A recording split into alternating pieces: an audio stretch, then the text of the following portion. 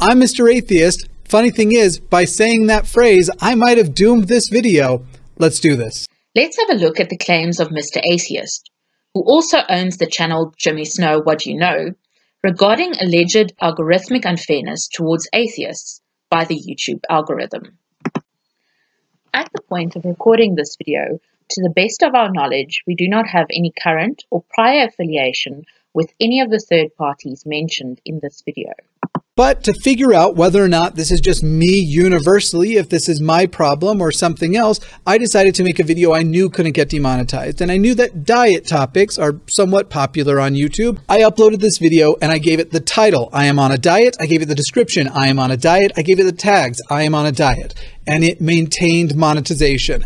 And I was a bit relieved. I have now confirmed that it's not just my channel. Everything, oh, I did the control again. I'm on a diet, I'm on a diet, I'm on a diet, worked fine. Next, next, I did title, I am on a diet, description, I am on a diet, and I just added the single word atheist into the tags, and it was demonetized almost instantly. The only difference was the word atheist. Now, this is already hard proof that the word atheist, despite YouTube telling me earlier this month that it was not added to the list of, of concerning words or high risk words, this is confirmation that the word atheist will get you demonetized. But creating a video about your diet with I am on a diet as the title, description, and tags can only be used to test whether your entire channel has been placed in a state of demonetization or, in your case, a limited ad state, which we won't be discussing in further detail in this video, but which is an important distinction which ought to be noted.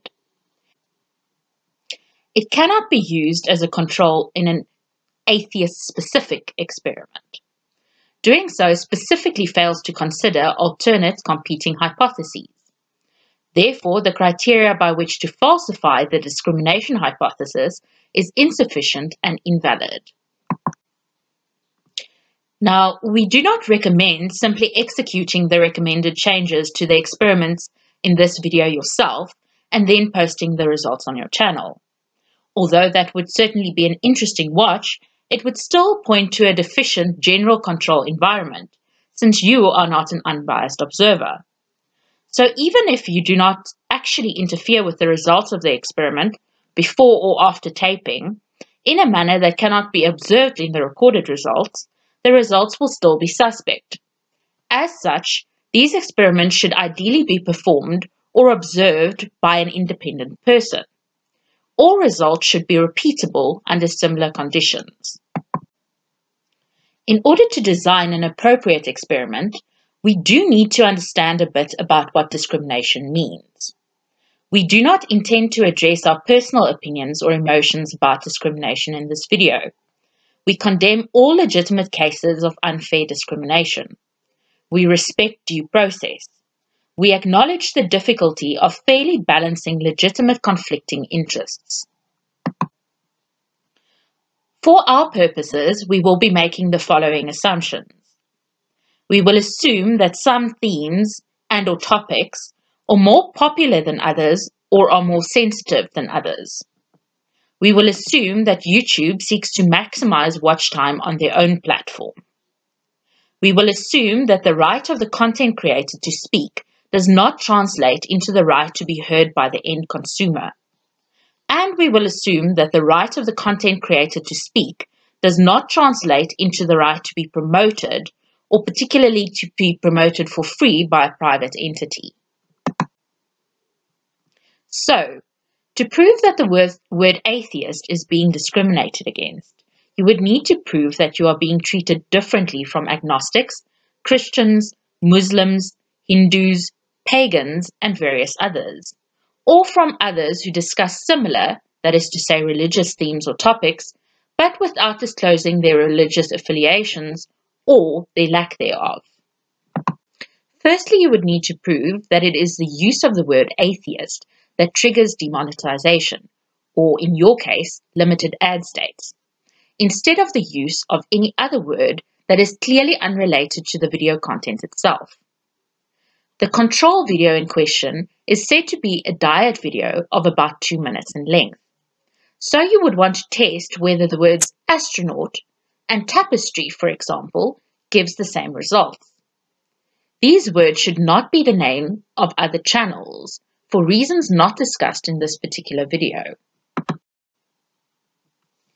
If atheist, astronaut, and tapestry on a diet video are fully monetized at approximately the same rate for a representative sample, your channel alone at best would only provide anecdotal evidence, the reasonable conclusion is that the YouTube algorithm doesn't care about your religious or a religious beliefs. It simply thinks that you behave in a manner strongly indicative of a spammer for observable, objective reasons that have nothing to do with your unobservable, subjective beliefs. If atheist, astronaut, and tapestry are found to be monetized fully on a diet video at approximately the same rate for a representative sample, you would move on to the next phase and test Christian, Muslim, Hindu, and pagan following the principle of ceteris paribus, that is, keeping all other things the same. If there is a statistically significant difference within that representative sample of various religious affiliations, barring other factors coming into play, which is possible but too long to discuss in this video, then you may very well have evidence supporting a hypothesis of discrimination. Then, I don't even know why I did this, but for kicks and giggles I did, I uploaded atheist, atheist, atheist. Title, description, tags. Demonetized. So in terms of using atheist as your title, description, and tag, for one thing, atheist is a single word that is possibly more likely to be indicative of spam than a complete sentence. Grammatical quality is not a conclusive indicator of spam but it is one of the most reliable red flags available. This is not the only possible alternative explanation that ought to be considered either, but we won't be addressing those in this video. Tested. The oddest thing, I guess, was that putting atheist in the title, just the word atheist, and then doing I am on a diet, I am on a diet uh, uh, as the description and tags, didn't demonetize. Again, it may have once I scheduled it for public, but uh, it didn't in the actual test. As far as using atheist as your title and I am on a diet as a description and tag, not immediately triggering limited ad states goes. Well, we do have a theory about that. But the aim of this specific video is not to teach creators how to perform well in the YouTube algorithm. It is to teach people how to methodically evaluate claims by considering the evidence presented for a positive claim.